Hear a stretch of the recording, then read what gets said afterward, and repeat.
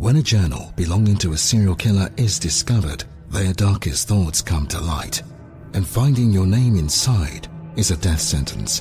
Written in blood, the heart-stopping new thriller from number one best-selling author Chris Carter. Frank's strength was his charisma, brilliant talker. His personality was infectious. I loved to associate with busy people who have a drive in their life to achieve something. And here he was, this international banker, and he needed prayer. Lay preacher Paul Owens first met Frank Nugan at morning communion at Sydney's St Andrew's Cathedral. One morning I noticed this very debonair character, beautifully dressed, down on his knees and uh, in, in deep prayer. But he was in there probably twice a week.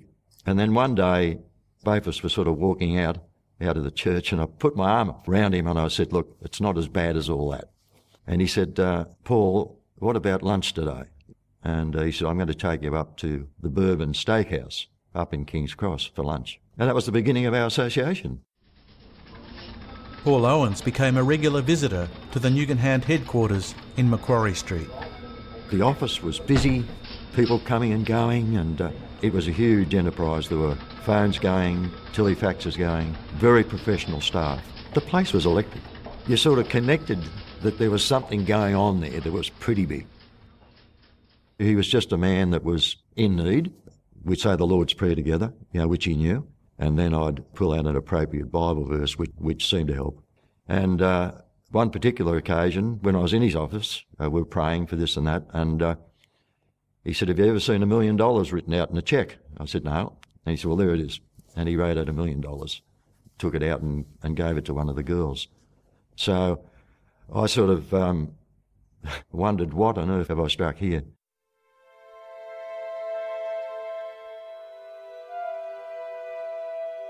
A lot of narcissists, I believe, what little bit I know, once they realize that they can't sell the program anymore, they become destructive. I really believe that Frank Nugan probably became crazier than a shedhouse rat. Frank Nugan was prepared to offer $50,000 to anyone who could compromise me as Attorney General. In 1978, $50,000 was a sizable amount of cash, enough to purchase a three bedroom home on a quarter acre block in Sydney. It could also rent a hitman. In Hong Kong, Doug Sapper received a message that Bernie Houghton was in town. The King's Cross bar owner had joined the bank and was setting up branches in the Middle East. I didn't particularly feel warm and fuzzy towards Bernie Houghton. It wasn't like we were going to dinner and dancing. Bernie Houghton was a fixer. He had a couple of hard cases with him when he came to visit Michael. It was suggested that I could help them with their problem. Sapper dined with the two rough looking Australians at a noodle bar. They had a proposition for him. They'd heard about Sapper's exploits while working in Cambodia when two local men followed him from his office at the airport and seemed intent on killing him, so he drew his pistol and shot them both dead. They said they were looking for someone with Sapper's skills for a job back in Sydney. They just told me they could make arrangements to get me into Australia and that they'd get me out. Why do you have to come all the way to Hong Kong to try to find a hitter? Yeah, no, excuse me. You can go down to King's Cross and get a pimp to do this. I go to Australia and I do the job. Now, there's only one loose end that hasn't been tied up. Me. They just shoot you through the head, leave the body in the lobby of the government building. And I wasn't even going to have that conversation with these guys. Sorry, guys, you got. I don't have the skills to do that. I'm, you're talking to the wrong guy. They didn't tell Sapper who they were planning to kill. He had no inkling that Frank Nugan's political enemy, Frank Walker, fitted the bill or that Nugan had put $50,000 on the Attorney General's head. Doug Sapper already had concerns about where Nugan Hand was heading, but they were amplified by the thought that it was getting into the business of murder. Sometimes I think when people are dumping money on a table or they're giving you a briefcase full of money, I think somewhere along the line you get caught up in the excitement, so to speak. And maybe what would have passed for really good intuition gets trampled in the stampede. After turning down the hit job, Sapper sensed the change in Mike Hand's attitude towards him. I had a feeling this was going wrong, and just a personal feeling. And I said, This smells bad. But anyway, bottom line is, during this period of time while I was there, there was some type of a rift uh, between Michael and I, and I have no idea what it was. What I guarantee you Michael did, Michael set up a deal for me to go do some stuff. Hand employed Sapper to smuggle 500 watches into Nepal for a friend of his, and as usual, it was to be under the radar. And it went terribly wrong. I was spending two years of my life in a Nepalese prison.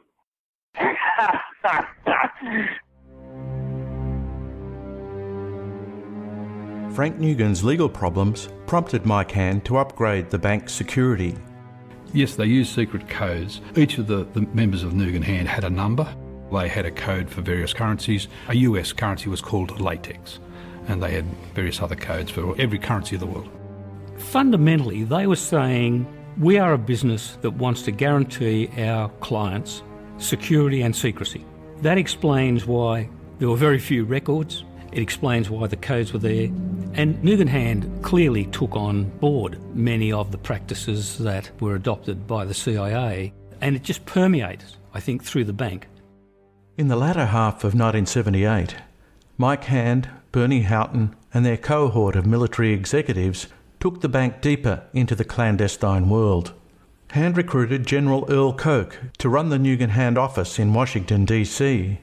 Koch had decades of experience moving money for the CIA, the FBI, and other US government agencies. The Nugan Hand Bank was soon making a play for a slice of the biggest money moving exercise of the century. Autumn 1978. Fundamentalism took hold with a fury and a force that helped ignite the still impoverished masses in Iran. Anti-Shah demonstrations had grown to such proportions that the Shah declared martial law in most of Iran's cities.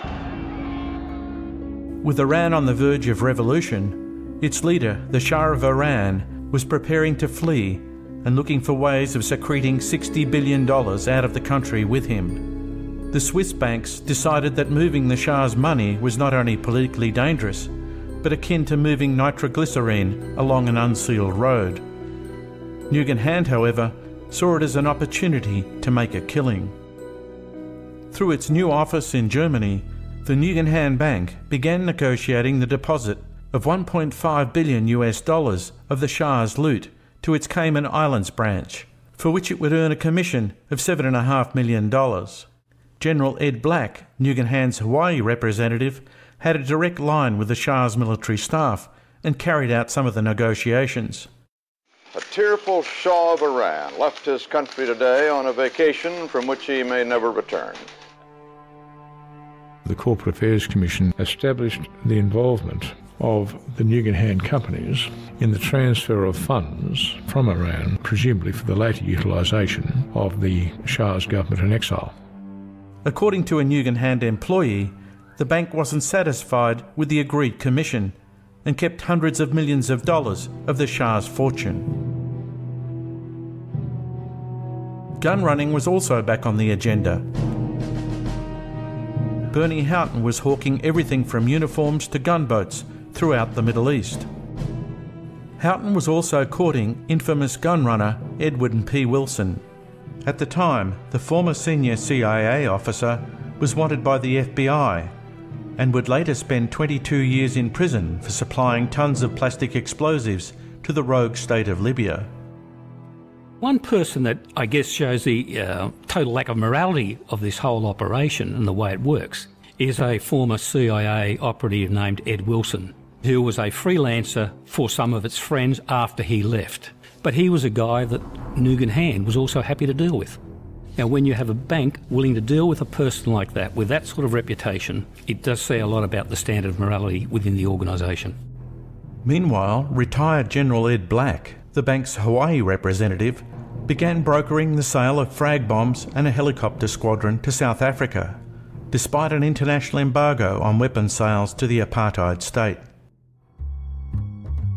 But in Sydney, an increasingly paranoid Frank Nugan demanded an end to high risk ventures like arms trading.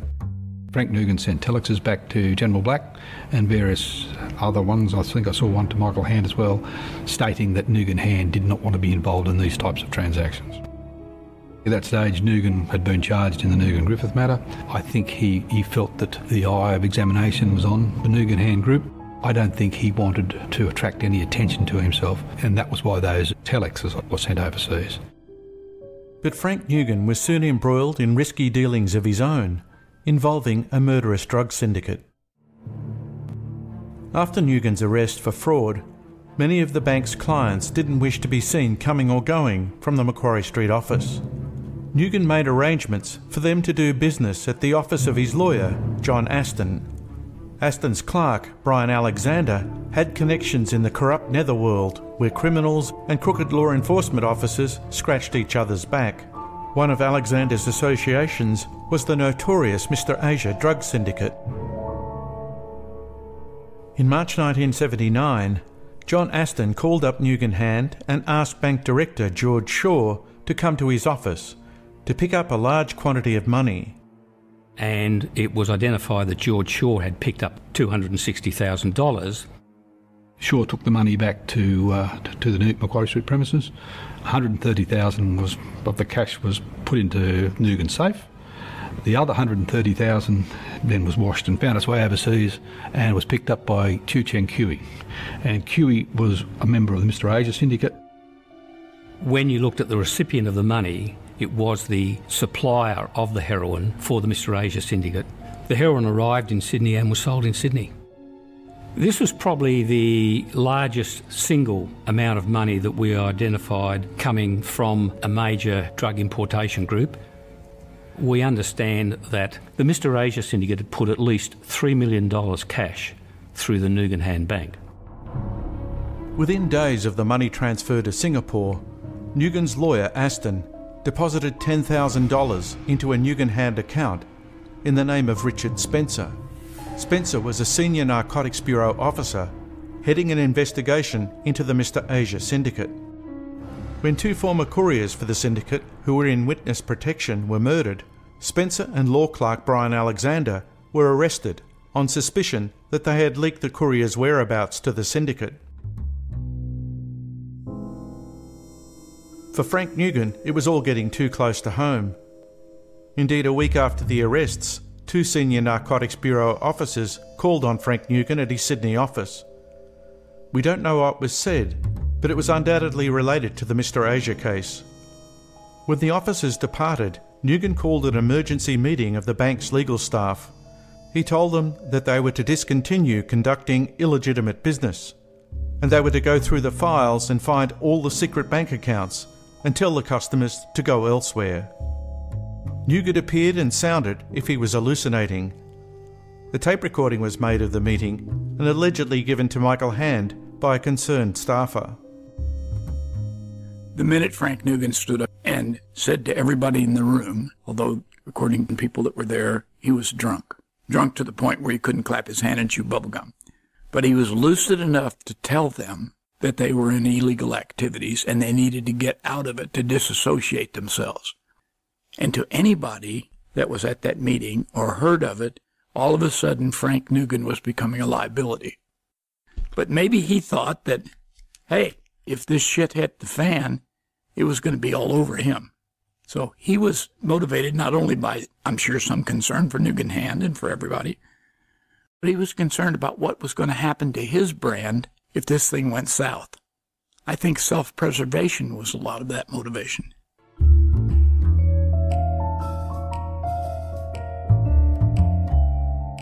48 hours later, the bank's international executives flew into Sydney for a Nugan Hand conference held at the Gazebo Hotel in King's Cross. During proceedings, Frank Nugan announced that Admiral Buddy Yates was standing down as Nugan Hand president in favour of Donald Beasley, the former president of the Great American Bank in Miami, and now Nugan Hand's first recruit with any banking experience. Mike Hand welcomed other recruits, including Dale Holmgren, who worked for the CIA airline Air America. Retired Air Force Lieutenant General Roy Manor was the former Chief of Staff for the US Pacific Command. And Walt McDonald was a 25 year veteran of the CIA who was director of the agency's economic division. Three legal counsels had also been appointed, including none other than William Colby, the former director of the CIA. As a Wall Street Journal reporter later put it, Nugan Hand was manned by enough US military and CIA officers to start a small war. During the conference, Frank Nugan spoke on a number of occasions about minimising risk. But Mike Hand and the other speakers gave no indication that they were moving away from illegal or clandestine activities. There was a tape made of that meeting, which I could never understand why anyone wanted taped. The one thing that struck me about the tape was how open they were to basic admissions that, uh, like, well, where money's concerned, our principles go out the window. We need to legitimise where we can. But even if we were legitimising, we need to understand that our clients don't want particulars and personal records kept. So we have to accommodate that. It was certainly a setting for potential significant corruption and a disregard for law. And perhaps that explains how so many drug dealers, let alone businessmen who didn't want to pay taxes, but why so many drug dealers would have gone to them. According to one attendee, the tension between Hand and Nugan was palpable. Hearing other people so openly talking about the extent of the corruption within the uh, bank would have placed an awful lot of pressure on Frank Nugan. He, he would have been a man under an awful lot of stress at that time. Nugan wasn't making sense, and I think you'll find that he was irrational at that stage and probably irrational and drunk at that conference. Privately, many of the American executives had complaints about Frank Nugan. General Black was furious about his shutting down of the helicopter sale to South Africa. Admiral Yates said the Filipinos thought Frank was crass after he had turned up at a meeting at a Manila hotel with two Mercedes, which he left out front with their engines idling. Walt McDonald feared that Frank Nugan was unbalanced. Mike Hand suggested that from now on, McDonald should accompany Frank on all overseas business trips. But Bernie Houghton, who was now running the Middle East branches, believed it was time to pull down the shutters on the Sydney office and hightail it out of Australia altogether. For all intents and purposes, Frank Nugan had lost control of the firm. Regardless of what it says in the recipe book, the plot was thickening. At the final session, Mike Hand announced that substantial insurance policies were being taken out on his and Frank's lives to meet any run on the bank that may occur in the event of misadventure. As the delegates repaired to the bar, Nugan followed Hand and another staffer into an anteroom. According to the staffer, insults and accusations deteriorated into an isometric tangle of fists and smashed furniture. When Michael instructed people to marginalize Frank Nugan, that was a bad plan because it played into Nugan's dysfunctionality. It's like giving a drunk monkey a hand grenade. It's not will it go off, it's just when's it going to go off.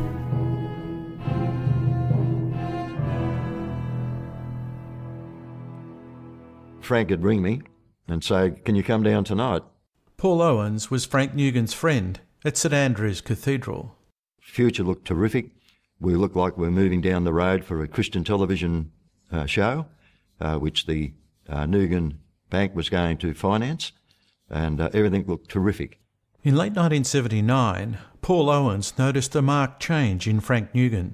He was going around the world, he was flying here and there and coming back, uh, but he lost a lot of weight. He, he seemed very tired, uh, very drained.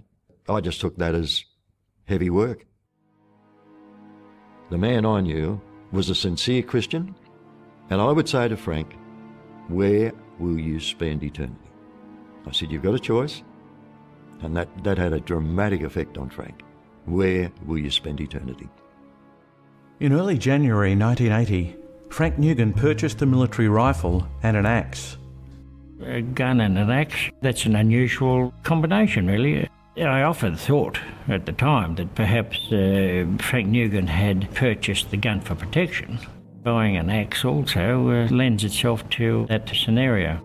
He then accompanied his family to the United States, where he handed his wife his life insurance policy.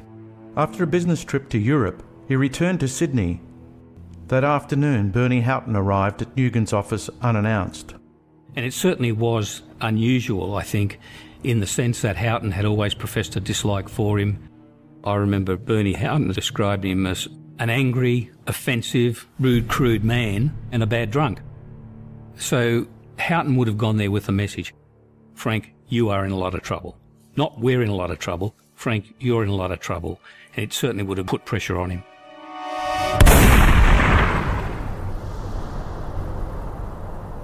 The ABC said that he'd been shot dead. And I just couldn't work out was this a murder? Because I couldn't fathom in my own mind it would have been a suicide. When I heard that Frank Nugan had died and, and allegedly suicided, my immediate response was, I don't believe that. I actually commented to some of my workmates, he, he didn't suicide, someone's murdered him. When you look at the fact he was carrying the list of names of all these drug traffickers who were a major risk to him, and the names of the former head of the CIA, who does have a reputation for killing people when the need arises, it may well be that it, what he was simply saying, these are the people who I see as the biggest threat to my life. Now, whether he killed himself or someone else killed him is still another question. Nugan Hand's Sydney office reopened two days after Nugan's death. The scene was one of chaos. Staffers were in shock, some were crying, the phones were running hot, and concerned depositors were lining up at reception, demanding to know if their money was safe. The bank's international executives were also phoning in, asking what to tell their customers. Mid morning, Mike Hand and outgoing Nugan Hand president Buddy Yates arrived from London. Half an hour later, Frank's wife, Lee, arrived from the United States. She was ushered into the boardroom, crying and demanding answers as to what had happened to her husband. Mike Hand called the staff together. There were no heartfelt speeches about his friend and business partner.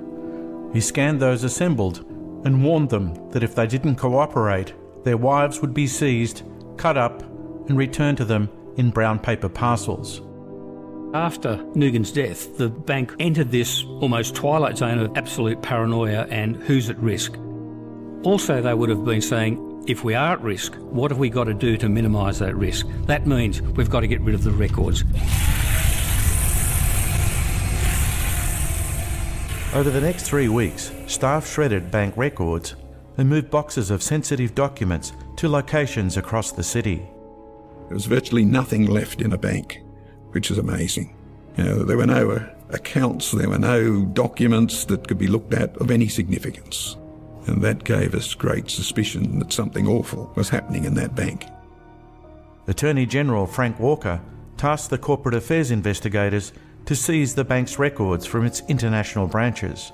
They were lucky. The Hong Kong police impounded the books of the Hong Kong branch of the Nugan Hand Bank, and that was the big breakthrough. I sent investigators immediately from Australia to Hong Kong to look through the accounts. Uh, we discovered names in the books that were obviously drug dealers, and we gained a very strong impression that the Nugan Hand Bank was in fact a financier of the drug trade, not only to Australia, but around the world. Rick Porter and his colleagues found Mike Hand at the Singapore branch. Michael Hand had beautiful offices there, and were, all the furniture was rosewood. And when we asked him, could we look at certain records, he said they were locked in the rosewood cabinet.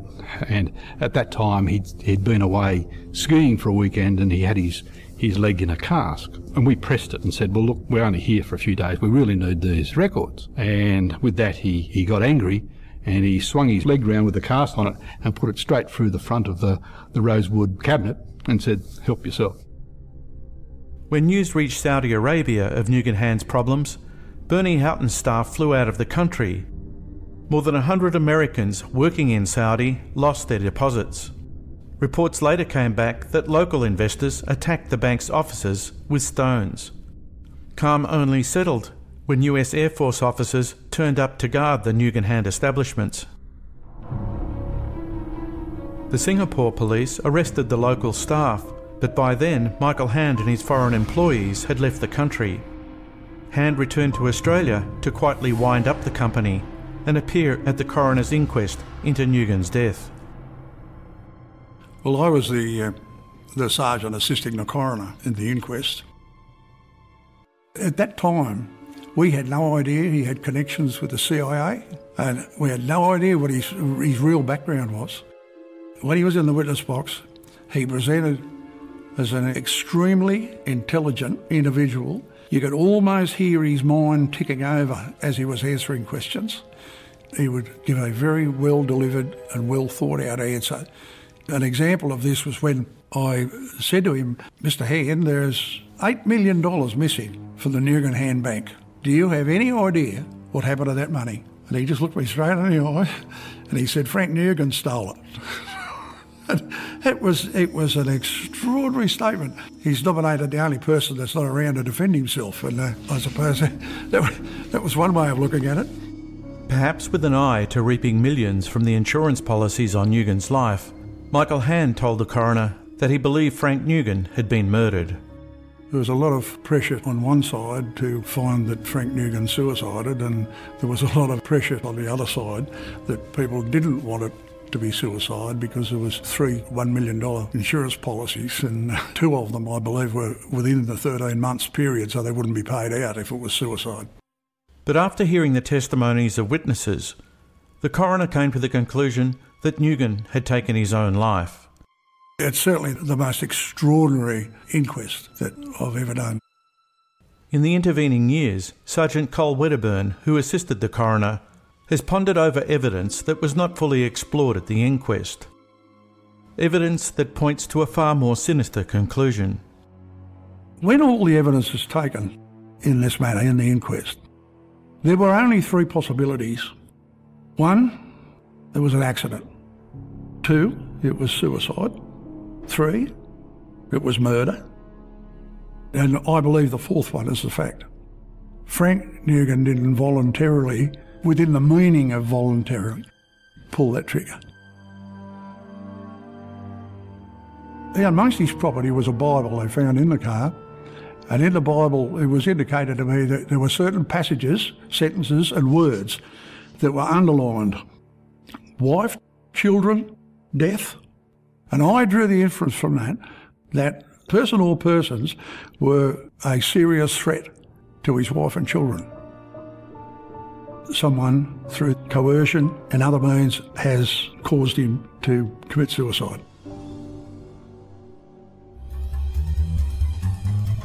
Coming up in part four of Merchants of Menace. I was uh, contacted in a matter of urgency in Orange from the chief of the CIB.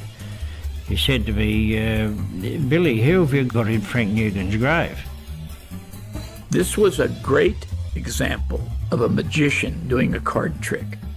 Here's a mustache, change your hair color, click, click, right to the airport.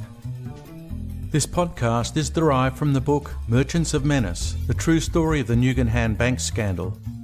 Available at www.merchantsofmenace.net.